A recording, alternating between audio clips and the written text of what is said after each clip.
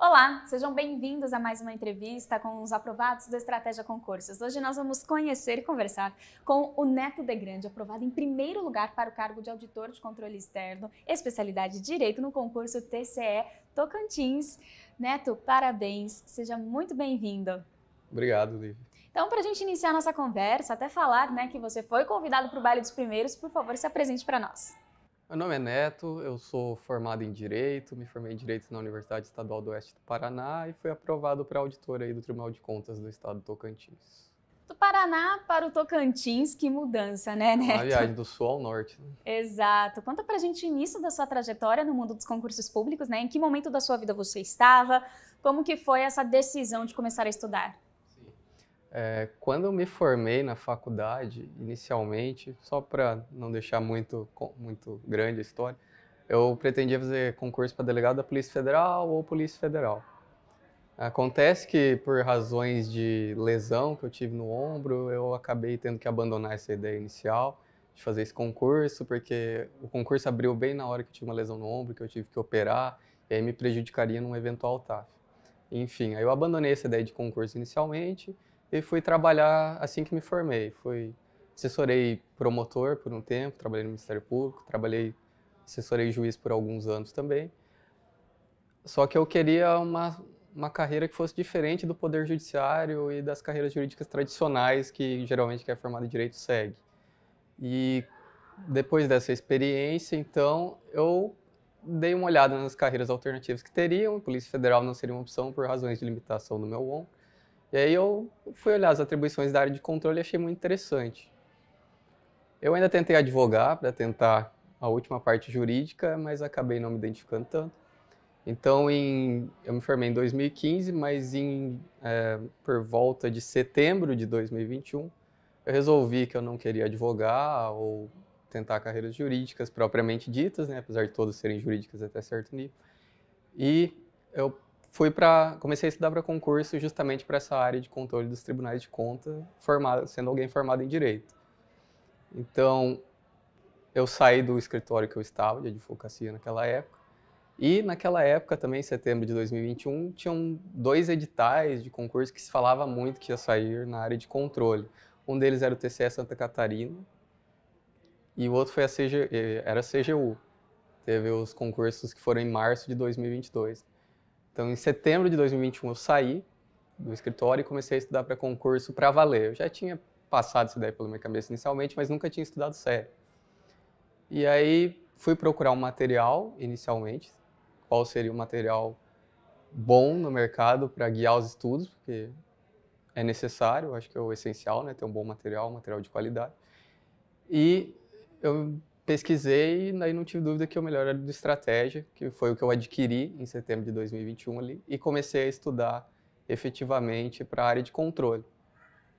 E aí eu fiz o concurso do TCE Santa Catarina, a CGU e o TCE Tocantins todos no ano de 2022, onde eu consegui a aprovação. Olha só, o ano de 2022 foi, foi cheio, né? Sim, Para foi. você. Excelente. Então, para a gente entender, Neto, a sua rotina de estudos focados para o TCE Tocantins, né? Como que era Uhum. a sua rotina de horas líquidas, quantas matérias você fazia por dia, né? O seu ciclo. Muitas pessoas têm dúvidas sobre essa parte, que é a mais importante e a mais difícil também. Ali em setembro de 2021, eu não estava trabalhando, eu saí do escritório. Então eu fiquei ali até a prova da CGU, que foi em março de 2021, eh, estudando, somente estudando, não estava trabalhando. Então eu praticamente utilizava toda a minha disponibilidade de horário para estudar. Eu não fazia um controle de horas líquidas propriamente dito, porque eu resolvi dedicar todo o meu tempo. Então, óbvio que você faz pausas durante os estudos, mas acho que se eu fosse fazer uma média para precisar hoje, nessa fase que eu não estava trabalhando, eu estudei cerca de oito ou nove horas líquidas por dia, porque eu precisava construir uma base para concursos que viriam muito rápido. Eu sabia que a concorrência seria muito alta, não seriam concursos fáceis para auditoria. Graças a Deus eu até consegui uma aprovação na CGU, estou no cadastro de reserva atualmente, talvez seja chamado. Mas aí, passados esses concursos, eu voltei a trabalhar. Isso a gente está falando de maio, junho de 2022. E aí foi quando o novo edital que estão comentando era o TCE Tocantins, que teria aquele ano. E aí eu direcionei meus estudos para ele desde maio e, ao mesmo tempo, em junho eu comecei a trabalhar. Então, eu trabalhava das 7h30 a 1h30, das 7h30 da manhã a 1h30 da tarde. Saía do trabalho, almoçava, tomava um banho e estudava. Parava pra, sentava para estudar das duas da tarde até umas 10 da noite e aí parava para descansar. Sem fazer o controle de horas líquidas, mas fazendo intervalos a cada uma hora, uma hora e meia, porque é necessário para dar um refresco na cabeça e retomar. Muito bom. E dentro né, dessa sua rotina, quais as ferramentas do estratégia que você mais utilizava? No videoaulas, PDFs, trilha, o que, que você usou? É, o que foi um grande diferencial para mim, pra, eu iniciei em setembro de 2021 e era uma carreira consideravelmente, consideravelmente difícil de ser aprovado, foram as trilhas estratégicas, porque eu precisava de uma direção de quais tarefas seguir, é, quanto tempo ia levar para bater o edital e como chegar lá. E eu não tinha essa experiência. Então eu precisava de um guia. E muitas vezes eu, eu me perguntava, será que dá para passar num concurso desse nível estudando em seis, oito meses? E aí eu entreguei as minhas mãos e o meu trabalho totalmente na trilha estratégica, eu sabia que ela era preparada para bater o edital. Então ela foi o grande diferencial para mim. As tarefas que ela passa, que você tem que cumprir todo dia, eu fui seguindo aquele cronograma rigidamente Além disso, eu utilizei os, eu estudei praticamente só por PDF, assim, videoaula só quando era algum assunto muito complexo que eu não conseguia entender, mas a grande parte da, do estudo foi por PDF. E também na reta final eu utilizei o passo estratégico como ferramenta de revisão. Neto, e você contou pra gente sobre a sua revisão com o passo estratégico, que é uma ótima ferramenta, né, para essa revisão, mas eu gostaria que você explicasse melhor, então, essa última semana que antecede o dia da prova, né, como que era a sua rotina, fazendo o passo estratégico e, enfim, como que é a sua reta final? Então, nas últimas duas semanas, eu acredito que não é mais o momento de você aprender conteúdo, que você não vai conseguir absorver qualidade, então tem que focar em revisão. É, o passo estratégico foi essencial nisso, principalmente considerando que foi uma jornada relativamente curta, né, até os primeiros concursos que eu fiz, e cerca de um ano até o TCE Tocantins. Então, o passo estratégico foi essencial para ter um material de revisão bem completo logo antes da prova junto com isso eu fazia mais, fiz mais várias questões das matérias que eu considerava mais complexas. E a sua execução de prova, você tem alguma estratégia para compartilhar com o pessoal? Você começa pelas de maior facilidade, dificuldade, enfim? Geralmente, é questão de estratégia de prova, eu acho que é mais controlar a parte emocional mesmo, buscar chegar calmo. É, um dia antes, na véspera, não se exaurir muito estudando horas a fio, tirar um momento ali para descansar. No momento da prova, eu segui a ordem das questões na própria prova mesmo, não tinha nenhuma ordem específica das mais difíceis para as mais fáceis. Bom, Neto, chegando aqui na nossa reta final da entrevista, como que foi então sua reação quando você viu seu nome em primeiro lugar nesse concurso?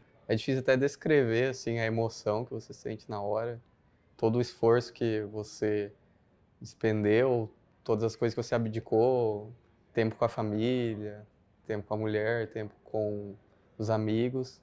É, passa esse filme na cabeça de toda a jornada que você teve e tudo ao mesmo tempo. E aí vem aquela sensação de conquista que tudo valeu a pena. Essa foi a grande emoção. Exatamente. E quando você recebeu seu convite para vir ao baile, como foi também sua reação? Quais são suas expectativas? Foi sensacional, porque, assim, eu acho que pouquíssima gente, ou quase ninguém, espera ser aprovado em primeiro. Assim. Então eu até já tinha visto o baile estratégico, assim, nossa, eu sempre pensava, nossa, como seria legal estar tá lá, mas você não vai para o concurso pensando em ser classificado nessa posição. Aí quando você vê essa oportunidade e a chance de participar desse evento que você sempre viu lá e quis, é, é uma alegria imensa. Eu acho que é o, o símbolo máximo da conquista e da jornada dos concursos. Sim. Bom, gostaria de agradecer a sua participação, mas para a gente finalizar mesmo agora, uma dica de ouro, Neto. O que você considera que foi essencial para a sua aprovação? Eu acho que o, o maior segredo é, para você estudar para concurso é ter um material de qualidade, justamente com isso ter um planejamento bom e ter a constância e a disciplina para seguir esse planejamento. Vai ter dias que você vai estar menos motivado, que você não vai querer estudar, mas se você tiver a disciplina, a constância e saber por que você está querendo aquilo e seguir o material e seu planejamento, no final dá certo. Tá aí, por isso que você está aqui hoje, né? Já está, já tomou posse, né? Como que tem sido a sua experiência? Conta um pouquinho pra gente no TCE. Estamos aí no Tribunal de Contas do Estado do Tocantins desde maio. É, já, já fiz ali até com o resto dos aprovados, com o pessoal que foi aprovado nas vagas, algumas auditorias, então está sendo um Tá trabalho gostando? muito bacana. A área de controle é muito boa. Valeu a pena. Valeu, com certeza. É é sobre isso. Muito obrigada, viu? Obrigado, Lívia. Para você que nos acompanha até aqui, obrigada também pela audiência. Se quiser ver outras histórias, é só navegar aqui no nosso canal Estratégia Concursos.